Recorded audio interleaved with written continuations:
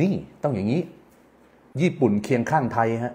โซนี่ทุ่มเปิดโรงงานผลิตเซมิคอนดักเตอร์และเซ็นเซอร์ตัวรับภาพ เพราะว่าตลาดรถเนี่ยกำลังเติบโตอย่างมาก ๆ ใช้เงินตั้ง 2,400 ล้านบาท และจ้างงานคนไทยประกาศเลย 2,000 คน 3 ปีจากนี้ไปนะครับ ถือว่าจะเป็นข่าวดีของประเทศไทยกันหน่อยนะฮะเพราะตอนนี้ประเทศไทยนั้นหวังจะได้เม็ดเงินลงทุนจากต่างประเทศเป็นเม็ดเงินใหม่สด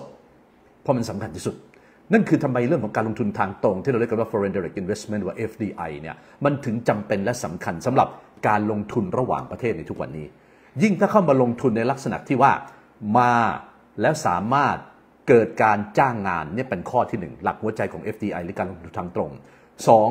มาแล้วเกิดเครือข่ายในการผลิตรับช่วงต่อ ซึ่งจะเป็นบริษัทสัญชาติภายในท้องถิ่น อันนี้ดี เพราะเงินมันสะพัดภายในท้องถิ่น มาและเกิดการเรียนรู้ถ่ายทอดเทคโนโลยี ซึ่งเป็นหนึ่งในเงื่อนไข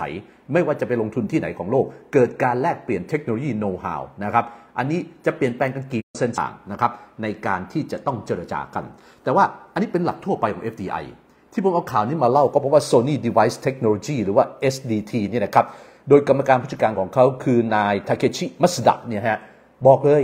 ว่าได้ใช้เงินลงทุนถึง 66,000 ล้าน เยนนะครับถ้าคิดเป็นเงินไทยก็ตีซะว่า 2,400 ล้านบาทเกือบๆนะฮะ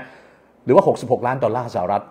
เปิดอาคารที่ 4 ภายในโรงงานของโซนี่ที่ตั้งอยู่ในประเทศไทย ด้วยเป็นอาคารที่ 4 นี้เป็นอาคารใหม่ที่ทำในการผลิตเซมิคอนดักเตอร์และผลิตเซ็นเซอร์ตัวรับภาพ ซึ่งตอนนี้เซ็นเซอร์ตัวรับภาพเนี่ยนะครับมีทั้งอยู่ในอุปกรณ์กล้องถ่ายภาพกล้องถ่ายรูป อยู่ในกล้องสตูดิโอและทุกวันนี้อยู่ในไหนรู้ไหมฮะ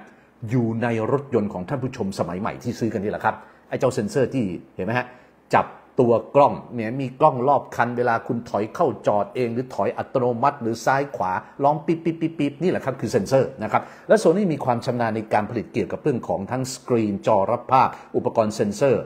มาอย่างช้านานมากรวมถึงกล้องด้วยนะฮะโดยเฉพาะกล้อง mirrorless อันนี้เป็นต้น ก็เลยถือว่าเป็นข่าวที่ดีมากๆสำหรับประเทศไทยนะครับสำหรับตรงนี้เองเนี่ยนะครับอาคารที่ 4 ของเขาเนี่ยนะฮะเขาบอกเลยครับว่าตอนนี้แนวโน้มตลาดเซมิคอนดักเตอร์เนี่ยเติบโตทั่วโลกอย่างมาก ๆแล้วก็ไม่ทิ้งประเทศไทยเลย เพราะถือว่าไทยเป็นฐานการผลิตที่ดีมาก ๆ ของสัญชาติญี่ปุ่นนะครับ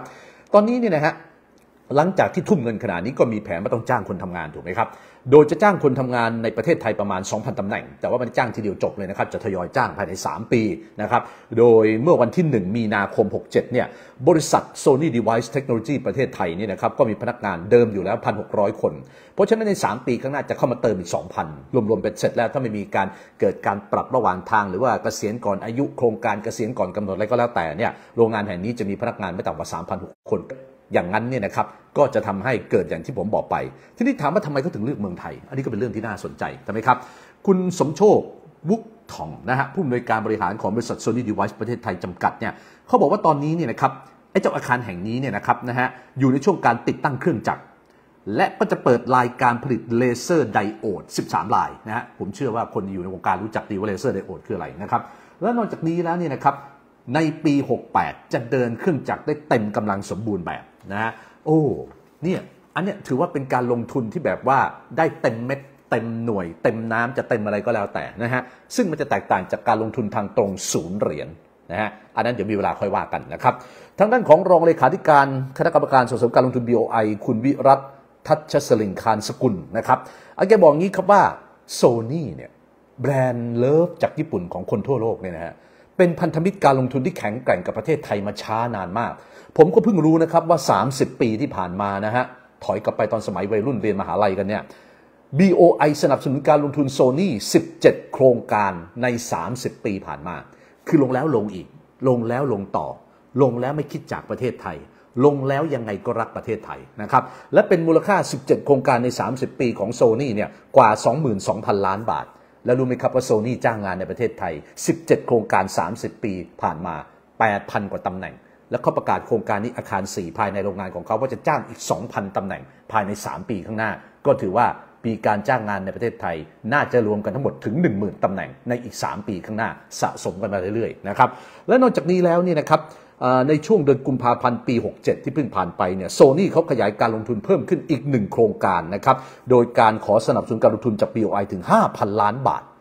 นะก็ถือว่าเป็นข่าวดีๆ ที่ผมต้องเอามาเล่าสู่กันฟังแล้วก็ฝากท่านผู้ชมกันหน่อยนะครับ เพราะส่วนใหญ่จะบอกว่าเอ๊ะข่าวเศรษฐกิจมันช่วงนี้คือเวลาช่วงที่เศรษฐกิจไม่ดีมันจะมันจะมีข่าวไม่ดีเยอะมาก ไม่ว่าจะเป็นการ ตัดลดค่าใช้จ่ายปลดคนลดการกำลังการผลิต แล้วก็มองไปว่าราคามันจะผันผวนขาลง แล้วที่สุดก็มีการซื้อกิจการควบรวมอะไรต่างๆ ก็แล้วแต่นะฮะแต่ว่าในข่าวดีก็มีเกิดขึ้น และอย่างนี้ก็ถือว่าเป็นสิ่งที่ดีนะครับ เพราะอย่างน้อยคนไทยก็จะมีงานทำมากขึ้นตามที่เขาได้ประกาศว่าเขาจะจ้างทั้งหมดถึง 2,000 คนใน 3 ปีข้างหน้า ก็เป็นเรื่องราวที่น่าสนใจทีเดียววันนี้ที่เอามานะฮะ